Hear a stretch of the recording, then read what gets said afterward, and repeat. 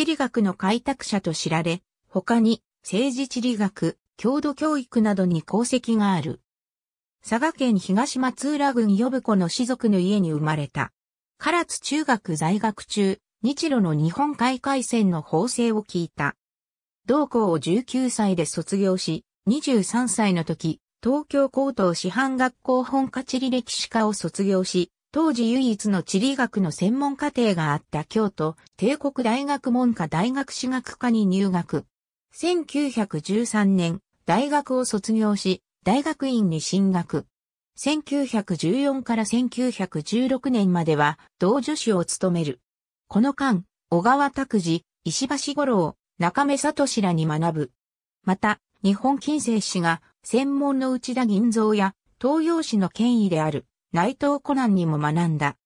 この年来日したヘッドナーらに従って、長野県上高地で調査し、あずさ川でモレーンやヘッドナー石の発見に立ち会った1914、27歳の時、京都帝国大学文科大学助手に就任する。1915年、文部省に派遣され、旧ドイツ領南洋諸島を統査する。1916年文部省にて小学校の地理教科書の監修に関わる。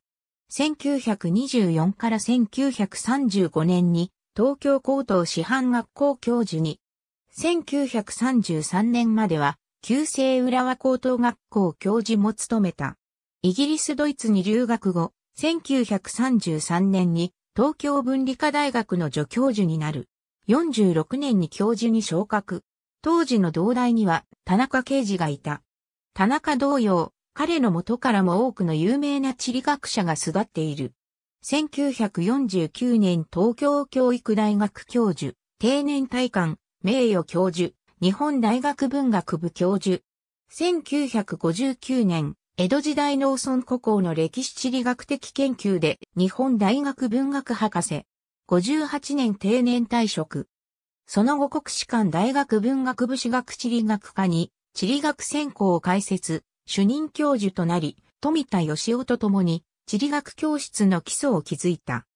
内田の業績は、経済地理学、政治地理学など多方面にも及ぶが、その方法に実地調査と古文書を利用した歴史地理学的な手法に特徴があり、地理学のみならず経済史や歴史学の専門家からも注目を集めていたことでも知られる。